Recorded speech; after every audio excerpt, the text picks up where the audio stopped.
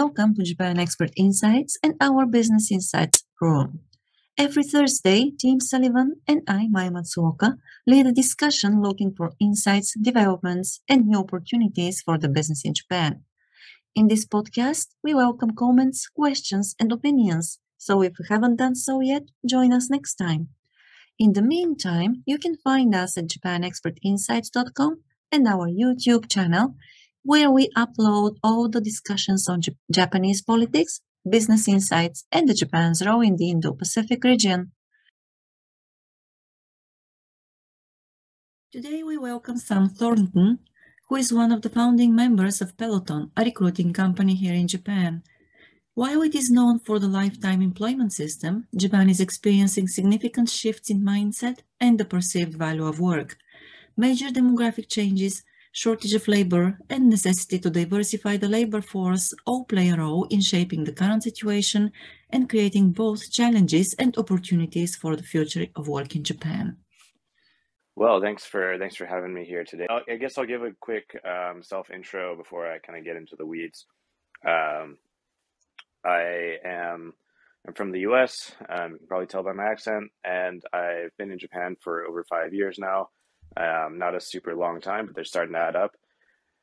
And uh, yeah, um, as Maya mentioned, I, I, work in the recruitment sector. Um, I've been doing that for most of my time here. Um, and the primary business that I'm in is actually helping um, foreign businesses, especially tech companies like software companies from the US, um, to to make their way into the Japanese market. and so that has uh, it's led to a lot of conversations and learnings for me around what makes the Japanese market so different from other other labor markets. Um, there's a lot of very specific issues that foreign companies have to deal with when they they come here that they're just not used to. Um, and yeah, so I, I, think you know it's possible to just kind of continue to try to run through run through the brick wall over and over and over again. But uh, I'm the kind of person who uh, um, I, I can't help myself. I'm just endlessly curious. So um, when I face these problems, I just want to know what's behind them. And so I found myself um, doing a lot of research about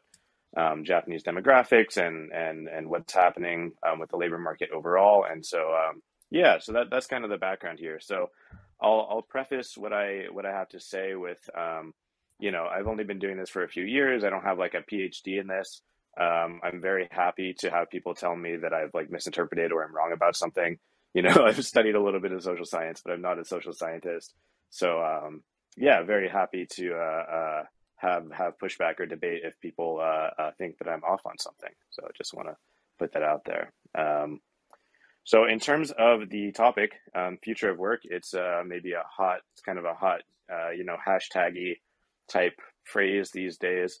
Um, it's pretty broad. I think it can cover a lot of things. And I'm going to start pretty high level today.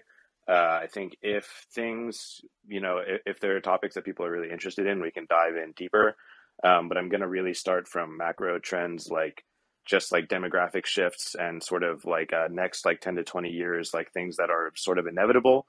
Um, and then work down into some things that are possible depending on what we do and what the institutions and the powers that be decide to do. Um, and then sort of talk about for each of those things some of those things are pro- challenges or problems and some of those things are are you know opportunities to get involved in uh, doing something new. So uh, yeah i'm going to try to touch on on all of those a little bit um, and we'll kind of see where we go.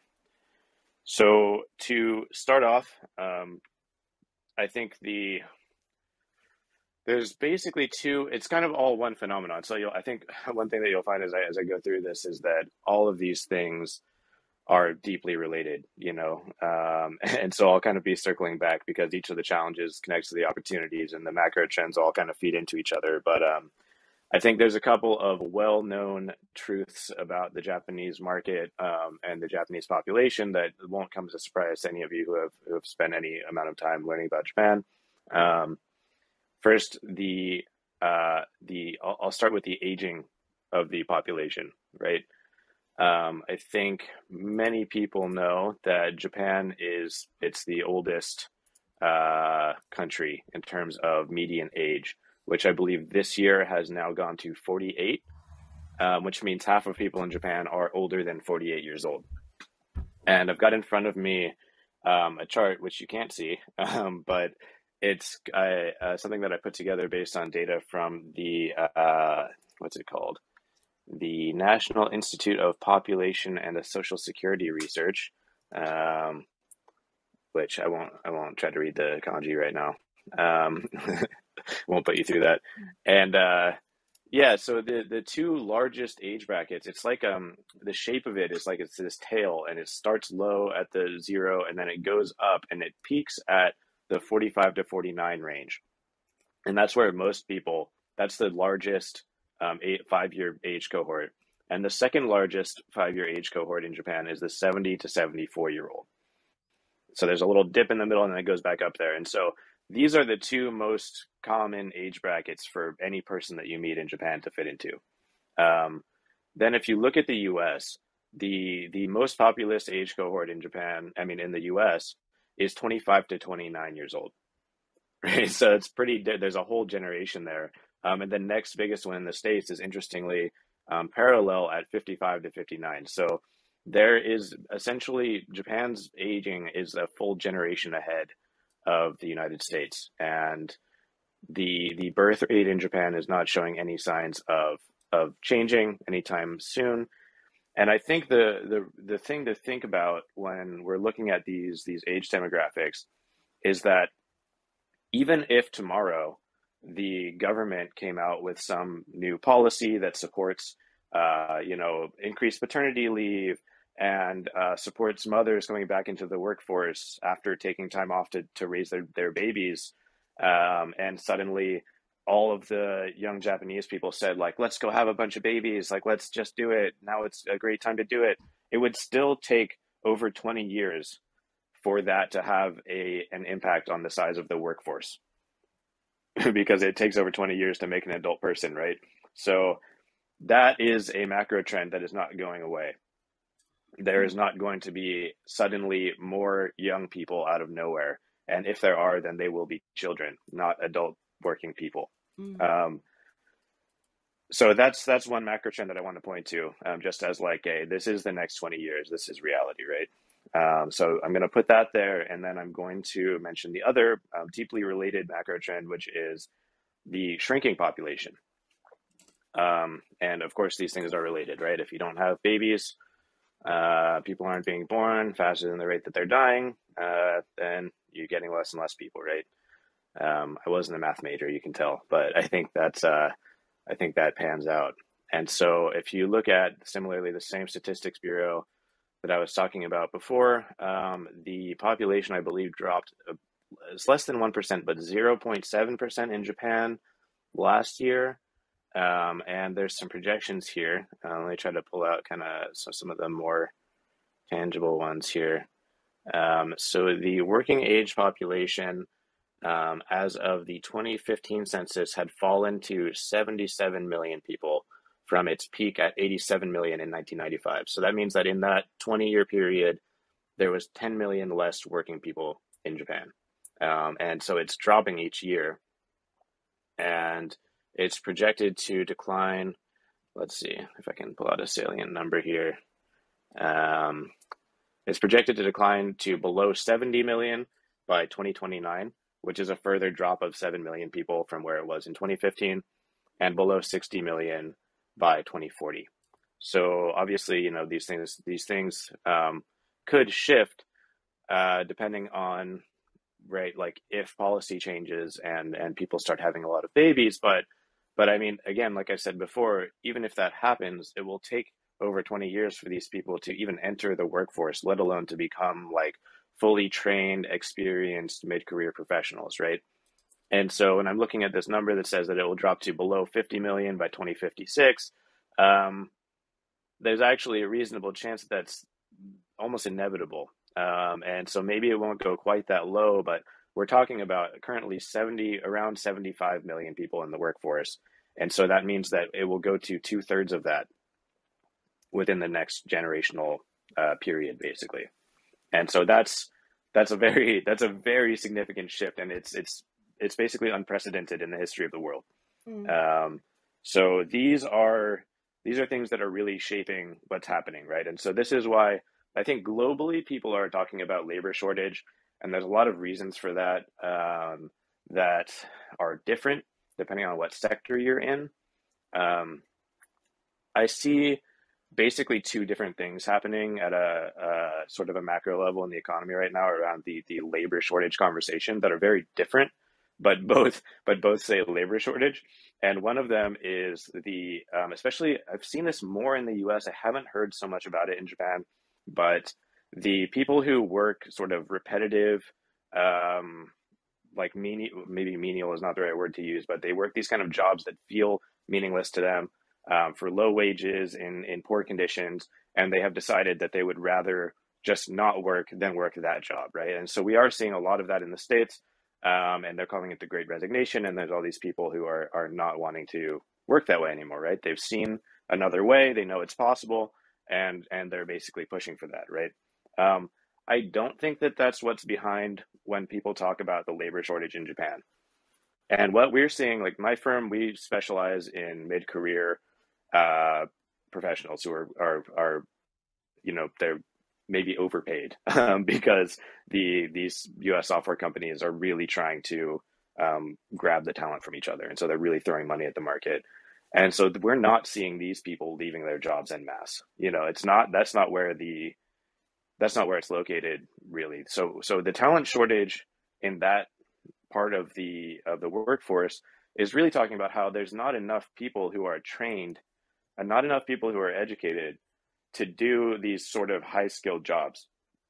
And so where we see it more on that side is with the you know the rise in demand for uh, data scientists and for people who can integrate these technologies and, and people who can lead these like digital transformation projects and these kinds of things um, or, or, people who can work on advanced pharmaceutical research right in the healthcare sector um, there's there's a lot of demand for that right now right um, just coming out of a pandemic so that I think is more where we're seeing the labor shortage on that side, and that is especially I think in Japan. So so I guess both of those are are salient in Japan. Both of those are relevant to bring up, um, but I want to differentiate them because I think that the the challenges and opportunities actually look very different there, um, despite them both having the the appearance of a labor shortage.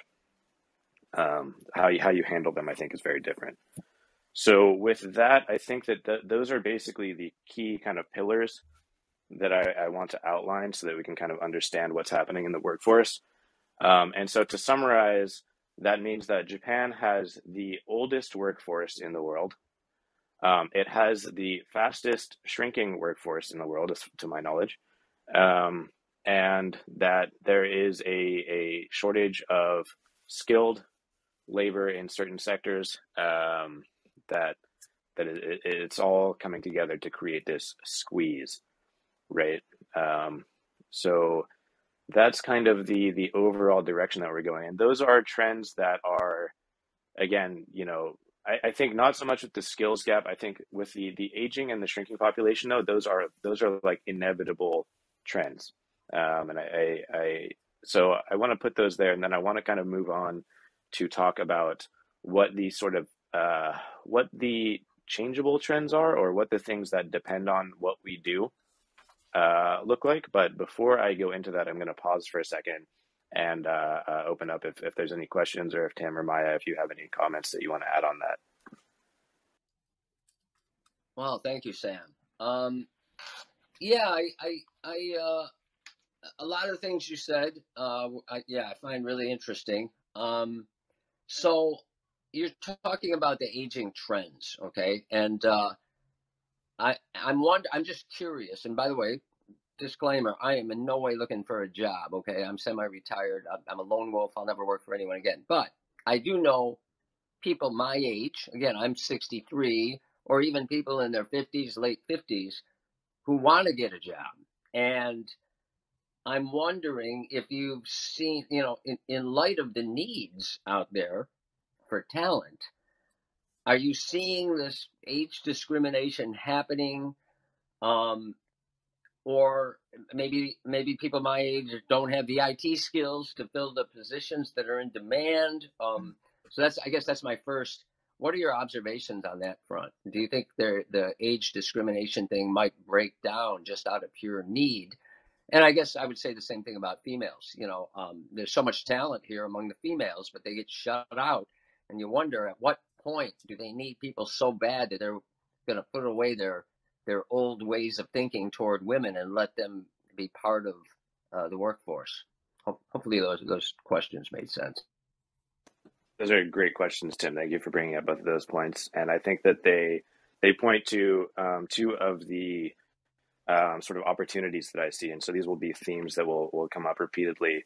Um, and one of them is um, reskilling or upskilling, and the other is diversity in the workforce. Um, and so, yeah, I think you know we are seeing. I, I still see, um, quite frankly, I see a lot of uh, age discrimination I, I mean, I, I, it's, it's pervasive. I, I think, um, and it's, it's kind of bizarre to me. I, I even see, you know, I, I'm not such an expert in this. I don't spend a lot of time sitting down with like large domestic companies, HR departments. So I, don't fully understand the way that this works, but you know, even in the even in the Japanese firms, they have this the teinen, the the decided age at which you must retire type system, and th- th- that persists to this day.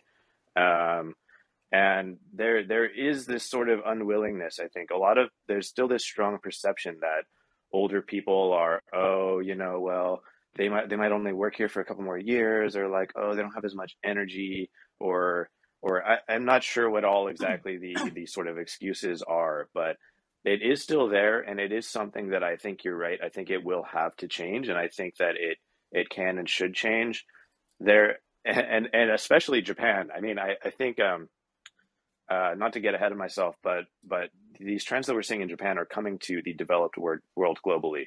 Like it might take 20 years for them to get to where we are here, but like the almost every developed country is on the same track right now with the aging and and, uh, the population trend. So this is it's coming, but I think Japan is a great example of a country where, like you said, the the the older people are still they're full of vitality and they want to do work like they want to do things right um, there was an article uh, pretty recently that I, I was reading about uh, 90 like some a man in his 90s who is working at the local mcdonald's somewhere in the countryside here um, just because it, it, keeps him occupied and he, he likes to interact with the people and, and he doesn't need to work there it's not like uh, he's he's like like impoverished and needs to do that to survive. It's like he he wants to do something, and that's the opportunity that he has. And so I think um, it's something that I have pushed, and that I, I'm thinking that there's a big opportunity in the market around um, when we see foreign companies come here, for example, they want to hire this like the profile that they have in mind is this like 35 year old like up and comer who you know is just going to go and just run through brick walls to get the job done. Um, and my advice to them is quite often look in japan i mean if you want to get things done it's probably better to have a senior person anyway um, because you know they know people and they'd be more respected right? So gray that, hair helps a lot exactly right yeah, yeah. Um, and yeah you're right as well i think that having more women in the workforce um, it may well become a a necessary survival factor, and it's it's kind of sad that um, it has to come to that for for conditions to improve. But I think that um, hopefully it does spark some significant change there, and so I will get into that a, a bit more later. Um, also about um, sort of internationalization and whether that might be a factor in in managing this. But I do think that increased diversity in the workforce. Um, and keeping people uh, working longer and, and upskilling the people who uh, maybe just have a small gap from their experience to what's in demand now um, are all big opportunities that are coming up. Um, so I see that also you brought um, Irwinton up on stage, so um, I'll, I'll, I'll let Irwinton go if there's a question. Yeah, I have a question, Sam. Thank you. Thank you, Maya, for having me here. As we know, uh, Japan's uh, population is shrinking right now. And as far as I'm concerned, your job is to bring technological companies around the world to Japan, Sam. For me personally, it seems a paradox given the fact that most people in Japan are not digital native. It's very difficult for technological companies to expand their market compared to Indonesia, for example. In Indonesia, most people are young people. they are digital native. So it's much better if I were a, if I were an investor to invest my money in Indonesia compared to Japan. How do you think about that, Sam? I like that. It's a good conversation. Um, so that's that's a really interesting point. Um, and I think there's a lot of different. I think there's a lot of different things going on. A lot of differences between Japan and Indonesia that make it um, difficult to compare them directly. I think I'll I'll just give you at the high level why one of the things that I think a lot of com- brings a lot of companies here is just the sheer size of the Japanese market. Um, it is still it's it's starting to starting to fall down the ranks maybe, but it is still the third largest country by GDP um, in the in, in the world in terms of market size, and so there is quite a bit of capital moving through the Japanese market, and frankly, it's one of the last countries that people come to. Despite that, like we usually see our clients have already expanded across Europe. They're usually in Singapore already. So, so to your point, I think usually they're investing in Singapore and the Southeast Asian region um, before they are investing in Japan often um, because it is it's easier to crack. There's there's higher levels of, of English usage and and there are there is maybe more flexibility around technological adoption. But in Japan, for the companies that do succeed here, the market size is it's so large um, that that the opportunity really just kind of it goes and goes and goes. So you you don't see a ton of foreign brands actually really taking off here. But if you look at, um, we had a conversation in, in this room last week uh, um, with Tim down in the audience brought up um, about IBM. And IBM, they have done very well for themselves here. And, and I think Salesforce Japan and Microsoft Japan, just in my kind of tech zone, um, Japan for many of them is their second largest uh, market in the world in terms of how much revenue they do here. So that I think kind of drives it. But I, I do agree in terms of if I was like a, if I was a venture capitalist, investing in startups, I may be looking. I don't know. I think Japan's got it's it's got something exciting kind of up and coming, but I think the Indonesian startup ecosystem is more established. I'm not really an expert in that, but mm. that's kind of my instinct. Yes, it, it looks like uh, the opportunities that are available in Japan are not comparable to the opportunities in other countries and Southeast uh, Asian countries. And uh, of course, Japan is, uh, some as you said, so the barrier of market entry here is really high. But because it is high, few companies actually enter the market, which gives them that prior, uh, well, opportunity to grow. And uh, as you say, the fewer the competitors, the well, the better the return. So it's really interesting, uh, and it depends on how you look at the market and what you consider as uh, an opportunity. And um, well, basically, I like this that every challenge is actually an opportunity, and the higher the barrier, uh, the better the return. So yeah, we do have here in Japan there is a, a huge population of um, non-digital native um, people, but this in itself is another well of opportunities for the tech companies. And I'm well, of course uh, this, as Sam mentioned, you know there is uh, opportunity for upskilling, um, and because we usually hear people say, well, the seniors, you know, or the aging people, they are not um, digital native. Um, well, it's a big problem. But basically, there many of those people are willing to learn. So the um, continued uh, continued training, upskilling is uh, one of the great uh, opportunities here in Japan for people who are willing to learn. And um, also, well, you know, services for people who are not digitally native is another way, you know, to look at uh, at uh, the market. And I think that probably this includes the labor market too. But I may be mistaken, Sam. I, I, I just uh, would like to hear your opinion on this too.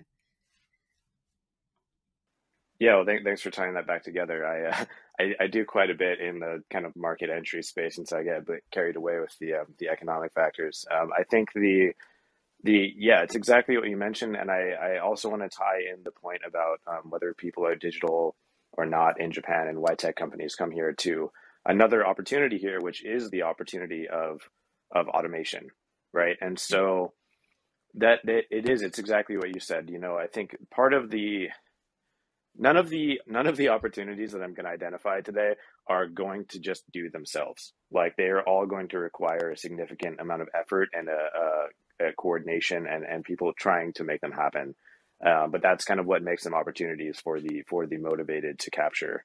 Um, and so, yeah, exactly. So building uh, services that that resonate for for Japanese people who are you know on on average they're they're older um, and that that enable them in ways that they're comfortable with um, is it's a huge thing. I mean, if you look at, for example, um, one of the favorite uh, jokes of, of foreign people who who are uh, following Japanese life is the the hanko stamp, the persistence of the ink on, the the need to stamp all of the paperwork and that you know during the early days of the pandemic it was this crisis right where people were like well we can't work from home. We need to be in the office so that we can stamp all the paperwork. And and people are just saying that's crazy. And and anybody who lives here knows right if you're doing a rental agreement or or uh, you know an important contract like that you need to bring your hanko stamp and you got to stamp just over and over and over again right? Um, and it just never ends. Um, and and so we all laugh about this like it's crazy right? Um, but and then the fax machines thing as well, right? And it's all kind of related to this um, uh, information security and and these kind of you know to to an extent it's about familiar systems, but it's also I mean these are by some standards they're more reliable systems. You can really count on them. Um, and so we have like in in global, I think almost anywhere else people are using um, DocuSign or PandaDoc or one of these kind of digital signature solutions, right? Um, but in Japan, there have been companies that are building basically they're you know i can't even i can't even begin to explain to you what the the technical difference between these is because i can't really imagine it but they're it's a digital hanko okay? And so they've created this way that for japan it's comfortable. And there is going to be a need to automate all of this office work. And and it's going to be it's going to be a i think it's going to be a grind to make it happen. I'm not i'm not i'm not uh, probably the the right person to ask about how you convince the the government to digitize um, all of these forms that you see when you go to the city office um, getting passed oh. around. But hmm. um, it is happening. Uh, it, it, certainly is on the way, and uh, I think that that it's exactly these are these are the opportunities. Um, another one in automation that we're seeing that Japan is actually a leader in is is what you've also talked about in this room before, um, the robotics um, and industrial automation.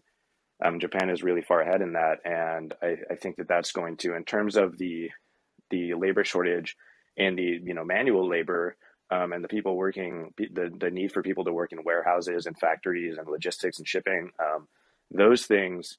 There's a big opportunity to automate them in Japan, um, and it's just a matter of like like that's an example of where Japan is almost more comfortable than other economies, right? Um, and so interestingly, whereas in the states we've kind of automated a lot of office work um, and desk work. Um, Japan may be ahead in automating the the manual work and maybe behind in automating the desk work. So um, these are things that, as the population shrinks, right, you need to replace the people who are doing these tasks either with other people um, or with a process that does itself. So um, I don't know if that kind of answers what you what you wanted to bring up, Maya, but those are kind of my thoughts on that topic. Yes, indeed. Well, I'm not actually looking for answers, just for thoughts, uh, because it's uh, interesting to hear different perspectives. And uh, yes, I also um, have the question about women. Of course, you said that you're going to talk about it a little bit later, so maybe I should leave this question uh, to a later point today. But uh, yeah, it strikes me, you know, that um, as people say that, uh, well, you know, Japan is different in this sense or, or that sense, and by defining Japan as different, uh, a lot of people just stop there without trying to uh, actually identify the opportunities. And the other day I was talking with Tim Sullivan. Tim, you were, you were saying about, you were talking about uh, people with disabilities who were receiving um, care by, uh, well, remotely actually. So that's another kind of automation which yeah, yeah. yeah, which helps uh, actually uh, well people get connected. So caregivers can help people who need that care. But that's uh, probably we can talk about it in a different room as well. So, Sam, don't mind, shall we continue with what you have prepared for today? Yeah, yeah, I'll carry on. And I, I um, actually, why don't I? I'll go ahead and I'll outline the um, the kind of main um, um, challenge opportunity pairs that I, am looking at. Um, and we can uh, we can kind of dive into them one by one. But I, I do think um, maybe I'll, I'll, start that with the um, um, what I'll kind of I'll kind of put in a, a, a broad uh, stroke as the diversity, mm-hmm. um, and I'll, then I'll break that apart into um, you know gender diversity and uh, um, you know I don't know what to call it, um, but you know I'll, I'll, call it like globalization or internationalization, right? The the diversity of of Japanese and non-Japanese people. Um, I think there's other important forms of diversity to talk about. I think that um, diversity of ability is important, diversity of background. Um, so those are all kind of under there, but I think there's a couple of kind of macro level things that um, we see we see a big impact of there. Um, so diversity is one that I'll, I'll kind of roughly group that. Um, another one is the um, lifetime employment system and the the mobility in the labor market. Um, I think is you know, we, we saw it was a couple years ago now, um, but the the Keidanren the the biggest um, uh, like business lobby here in Japan um, came out saying you know lifetime employment has to go. This isn't tenable anymore. I don't know. You know, I mean, it's the businesses kind of decide themselves. I don't know if that. Um, I'd actually be interested to hear. Maybe um, uh, I know maybe Tim Tim down in the audience can help shed some light on whether that's really happening or not. But I I I have question marks about it, but it's it's it's uh, the liquidity of the labor market. I think is overall an important thing to look at. Um, the the automation, which we talked about a little bit already, um, and also uh, yeah, remote remote staffing or remote delivery of services is another another thing that I wanted to touch on today because I think that that's um, it's a it's a it's a uh, it's a hot topic, right? And I think there's some questions about how it will happen in Japan, um, not all of which I can answer, but I can kind of point to some things that I'm seeing. And then last, which we've already talked about a bit, is the upskilling and reskilling, um, and the kind of like longer presence in the workforce of people. Um, and then, and that that also ch- ties in to some extent to mobility in the labor market. Um, I think that reskilling people is going to be a necessary thing that happens as certain jobs are automated and then what are these people going to do? Well, we need help over here. How can they help? Um, you have to there's a gap there right? So um, so those are kind of the those are the overall categories that i would i would point to as as being um, uh, a key key to shaping what what happens in the next 20 years in terms of the world of work in japan um, I will go ahead and jump into the diversity point, and I'll start with the gender because I think that that's that's what you brought up, and I think it's it's the biggest it's the most pressing one. Um, if you look at you know globally, like if you look at uh, historically, like the United States, right? We got a big lift economically when uh, women entered the workforce full time. Uh, it's, I mean, it's half of the population, right? It's a huge number, and so if you think about, um, I'll just roughly compare, but if you think about in Japan, 98% roughly of all of the people who live here on the island are Japanese, ethnic Japanese, native, local, um, however you want to phrase that. And only 2% of the population here is, is from elsewhere. Um, that's, you know, it's a pretty small number. Uh, and if you think about, okay, well, then you've got, what, what is it? Um, the other, you know, uh, 40, 49, 49% of the population then is Japanese women. Um, roughly, right? If you assume it's half of the Japanese people, and so that's a huge number of people um, that are largely are largely getting not, you know, it's not that there's no working Japanese women, but they're it's very difficult, right? Um, to to continue, for example, if you want to have children, it's very difficult to continue your career here, right? Um, I do meet in my job sometimes women who have left the workforce for a couple of years um, because you know they'd had a baby right? And they wanted to raise their child. Very reasonable expectation i think. And uh, uh, have it's it's very difficult. It's very difficult to help these people to find work doing what they were doing before. Um, and i think that this is a mentality that that will have to change as well as um, you know just the, the lack obviously of, of gender diversity in executive positions and and these things are related uh, I think the way that hiring and promotion decisions are made, it comes from the top, and when the top is all one kind of person, they will, you know, obviously favor themselves, and that's that's men in this case. So um, I'll, I'll pause there for a second. I see that Candy has come on stage, so maybe there's a question as well. Yes. Uh, well, as a woman, I can say that I have seen um, the, the the better part of uh, you know being a woman in a Japanese organization because um, well uh, the company which I work for uh, they actually allowed me to have a one year maternity leave and there was no problem for me going back. But I, I understand that I'm rather an exception than the rule. So and uh, it looks like uh, a lot of well I have friends who had to quit uh, their positions because, of course, you know, there was that perception in um, in the company that uh, by taking maternity leave, they would dis- uh, well inconvenience the people around them. So that's uh, well more of a cultural, let's say, prejudice or cultural bias rather than legislative bias. I think.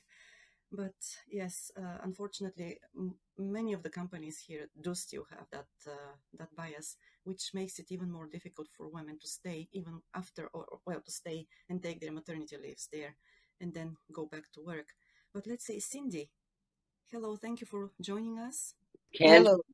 Hi, good morning, everybody. Ohayo gozaimasu. Ohayou Ohayou gozaimasu. gozaimasu. Hey, hello, good morning, good morning. well, Being a woman in the for, I mean, the workforce, just like uh, Maya here, I've been looking around and I've been here in Japan since 16 years old. And uh, I look, I saw everything, which is quite tough. And uh, 10 years ago, everything changed a lot. And many women who are married right now has the chance you know, to keep their job, even they have kids. There's a lot of, you know, uh, care center here, nurseries for women, also for men who are working. If both parents are working and uh, you don't have any, uh, uh, the baby is not going to be cared of. There's a lot of institutions. You you can have, uh, I mean, a leave. It depends on the company of or or the pro- of, of of what job you are in. It totally depends. But basically, 10% of the company here has right now a leave for paternal parents. And me as a woman having, I mean, working in the men's community, I think I don't have any problem at all. But a lot of people right now are jumping into the fields of the men's field. From my perspective, that's good. But for others, it's a competition already. Yes, and once again, I think that uh, as you said, that let's say, okay, I didn't know the number, but or the percentage. So 10% of the companies here have, uh, well, they allow their uh, male employees to take paternity leaves, but um, I think that it's one thing to have this black on white, you know, written somewhere, uh, and then uh, you can tell, you know, your employees you can take that paternity leave. But it's also another thing to actually take that because a lot of men they don't feel comfortable doing that because for well, of the same reasons I mentioned earlier, they think that it will uh, inconvenience uh, their colleagues, their coworkers there, or it would uh, even, you know, um, uh, let me say, uh, slow down their career growth because it happens too. yeah, they could hurt their reputation. Their reputation Well, as well, yeah. you know, Japan is a men's dominant world, right? yes. Yes, It is right? Women just came into the workforce around 10 to 15 years ago. true. So it was a big blast or it was a big shame for men that women right now is in the working force and they're trying their best to stay even though they are married and pregnant with their babies. Yes, So for even for the royalties, you can see everybody's women right now. You can see right, right, yeah, right? But But they don't have choice. We have to be uh, honest, you know, and and say exactly, exactly, choice there. exactly. You can see by the royals they have women, but they don't see them as royals. It's either it's men who will be royals. And that's why everybody here in Japan, women are saying we should have equality regardless of everything. And it was just out 10 years ago and it was too late. Everybody's doing that by the whole world and Japan is always behind this. We are be always ahead of technology and new things, but when it, when it comes to other things, we're, we're 10 years or 15 years behind of all these things. We have to catch up in a lot of ways. That's what I'm going to say. Oh, yes, I cannot agree more with you, but at the same time, we have to appreciate the fact that cultures and mindsets uh, take a long, long time to change. So, and uh, this is, I have a question in this um, in this context. I have a question to Sam. Sam, if you have uh, well some information about it, I would appreciate it. But uh, I I have heard that uh, you know you measure the labor market uh, by the number of people who are actively looking for a job. And uh, I just wonder, you, you said, you know, we've got 48% of uh, the Japanese, uh, native Japanese here, 48% roughly are women. But I wonder how many of them are actively looking for a job at the moment because we're we're talking about you know women diversity in the workforce that it has to change diversity has to increase and so on and so on. But at the same time if we don't have a large number or a large percentage of the uh, female population here looking for a job then i cannot see that happening right? So it's just i wonder what the situation if, uh, is at the moment Yeah, um, I'll try to comment on that a little bit, um, and and thank you guys for kind of leading the conversation on that on that last point. I think, um, yeah, these things are all deeply related. I think um, the you know I I don't know if there is data that breaks out um, uh, like unemployment rate by um, gender. Uh, maybe there is, and I just haven't seen it.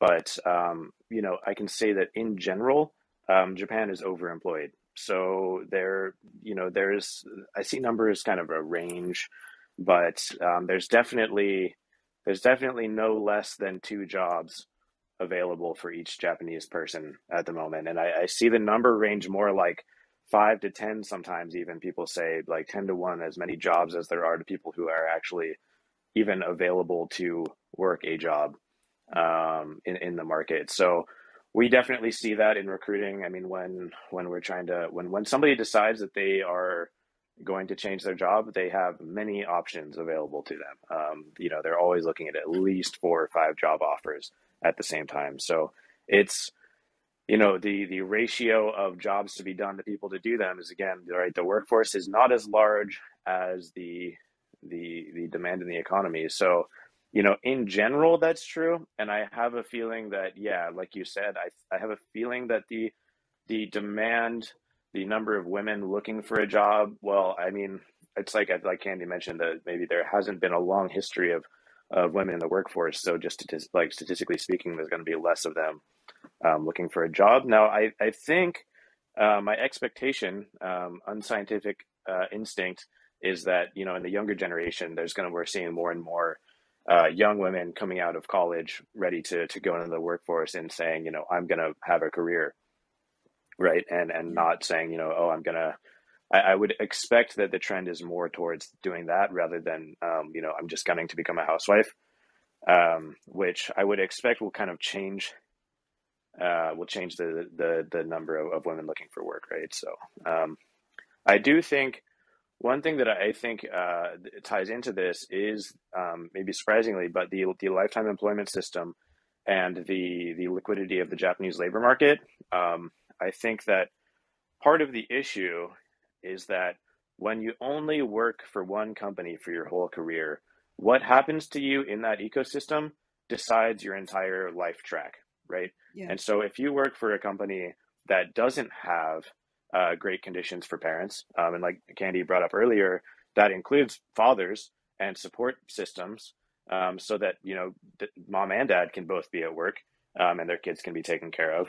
Uh, if you if you work in a company that it doesn't have great support on that, well, you know, con- contrary to what I just said about how there's a lot of demand for for Japanese employees, there's also it's quite tough if you are working in a there's not a ton of mid-career job opportunities at the the kind of prestigious, large, prestigious um, Japanese companies. hmm Interestingly, the sort of the large keiretsu, like the the Hitachis and the Fujitsus and the the Toyotas and things, they tend to hire, do all of their hiring at a new grad level, and then they keep everyone through their whole career. And so they actually, many of these companies don't post job opportunities um, for mid-career jobs anywhere um, publicly. Uh, many of them don't um, even really have the infrastructure internally to to hire and to train these people to come in at a at a mid-career level. And so that that basically means that if you are in an environment where you're not being treated well, or if you, for example, are in an environment where you did take a maternity leave and that kind of is reflecting on your career um, in a negative light, then you don't have necessarily the option of just saying, okay, well, you know, forget you then. I'm going to go over here and I'm going to work for for the competitor. And so you don't get a huge amount of competition on benefits um, and on on flexibility. And I think that that does affect the the trajectory of uh, career for you know for for women as well, right? And it, it affects these the pace of the culture shift, right? If there's more competition, and so that's kind of one reason that I'm I'm fairly passionate about what I do um, of bringing foreign companies here um, because I, I think one of the biggest benefits that it brings is the the foreign working culture certain things about it that it it creates additional competition in terms of the way that HR is managed. And so if people are looking at the way that other companies are managing their HR and saying well I prefer that. I'm going to go work there then it, it forces it forces the other companies in the market to ad- adapt to that right? So that's um, yeah I'll pause there Uh, I mean, Maya ha- wants the numbers. I have the numbers. As, as September 2021, the un- unemployment rate is 2.8 m by the numbers, and uh, the jobs of application right now is 6.23 to 6.23 million by this year only. Mm, thank you. That's interesting. So you said 2.8 million? Yes, 2.8 million, which is unemployed, men and women both. Okay. Mm. Right. Mm. I think it's because of the corona shock. That that's why this number is high. Probably, yeah. But they still, uh, well, the official numbers published by the government say that uh, there is there hasn't been a shock to the system. Basically, there hasn't been an increase in uh, unemployment here in Japan, which Yeah, they will never say it, but the numbers are out already, but they will never say it. yes, Well, what I've got here in front of me, I see it's 2.8%, which wouldn't actually be quite 2.8 million people, um, but it would still be between one and two somewhere. Um, so yeah, I mean, it, it's, you know, but if you think about there's 125 million people here, um, it's still actually pretty low. Um, I mean, in the United States, we just a few years ago, it was like almost like nine, 10%. So um, it's it's still Japan is is it's always one of the lowest in the world in terms of unemployment rate. Um, and I don't think that that's again. I think the squeeze is is there. Um, I, I do. I would. I would agree. There is most likely, especially among small business. Um, there's been a lot of businesses that have closed. Right. We've all seen that. So Yeah, I um, was I was gonna say, you know, in those numbers are the sole proprietors or the mom and pop stores who who maybe went out of business. Are they reflected in those numbers, or are they just collateral damage that's not recognized in the stats? Yeah. I mean, how you how you calculate unemployment is always questionable, and how you Yeah, right. calculate the Right. the amount of jobs that are available in the market. There's no just like central jobs database, right? So Right. it's all interpretive. Sure. Sorry, Maya. Go ahead. Oh no, I yes, I just wanted to to say the same thing as you uh, to Tim's comment, and also I I wanted to continue uh, and say that. So obviously uh, you believe, and well, I I also agree on that that uh, bringing foreign companies here and uh, foreign working culture is one of the ways to solve um, the problems which, uh, well, let's say women probably say that we can increase the liquidity of the labor market. So uh, this is one of the, the the solutions, but it also it requires a lot of work, as you said, because there are some, um, let's say, difficulties. You, you actually need to educate those companies that enter Japan that uh, uh, the culture here, the expectations of the labor force here uh, are different. So, do you see that as, a, let's say, a high barrier to enter the market, or is it something which is not that difficult to overcome? Yeah, so let me say first of all, I don't think that um, foreign companies are necessarily better um, or worse in the way that they manage their human resources. Um, I think they're different, and there are some places in which they're better. Um, and there are some places in which you could say uh, worse, depending on your perspective. You know, Mm-hmm. I, I think, uh, like for example, there's I was doing some research on this recently, and I came across the term gaishikei jigoku, which means foreign company hell, and it's it's the the phenomenon of people who leave the Japanese work environment to join a foreign company, and for them it's just torture. It's the worst. Um, and a lot of people talk about the the dry work culture in Western companies. Like it's just this very business kind of transactional relationship with your with your coworkers. That's just about you know, hey, did you do the thing? Where's the report? You know, get that on my desk. Whereas the Japanese business tends to be a bit more like the you know everybody's a family and you know your your manager is asking about your kids and you know it's a little bit more personal you're going out for drinks with your boss after work and, and that kind of thing um, so i don't i don't really you know i think that there's there's differences right but i think that the important point is that um, if you have more differences if you have more diversity of of um, ideas and of, of processes and of ways of doing things then it it creates a competition, right? A competition of ideas and a competition of management um, styles that you know should push evolution, right? Should push forward movement. So that's that's what I look at, and that's why I bring that point up. Now, in terms of, um, I'm sorry, I lost the thread on. You asked, oh, about is it difficult to come here? Absolutely. I, I think uh, there's a huge barrier, and and so this uh, to tie this into one of the other points. Um, is is internationalization in Japan is a um, kokusaika I think they call it right is the um, it's it's it's a common thing to it, there's a lot of hype around it but it's really hasn't manifested uh, I think at the rate that people thought that it would and and in fact we hear now about decreasing numbers of Japanese university students being interested to study abroad for example or go to foreign universities and um, yeah I mean the the one of the biggest barriers um, is is the number of people who speak English here, right? Um, Right. it's nowhere, it's not comparable to um, other major major Asian hubs, um, Hong Kong, um, Singapore, of course, um, and Shanghai. I mean, I think there's just not. It's not that. Uh, of course, China. I think there's a lot, a lot of people who don't speak English, but there's uh, in Japan, just the uptake has been very slow, considering the um, apparent effort to to to teach everyone. It hasn't really stuck. So, if you, I mean, there's no good. I haven't ever found good stats on this. If somebody knows like a source of really good stats on how many English speakers there are here, I'd love to see that. But I always, when I see the range is somewhere between, you know, maybe it depends on how you quantify ability to speak, but somewhere between two to eight percent.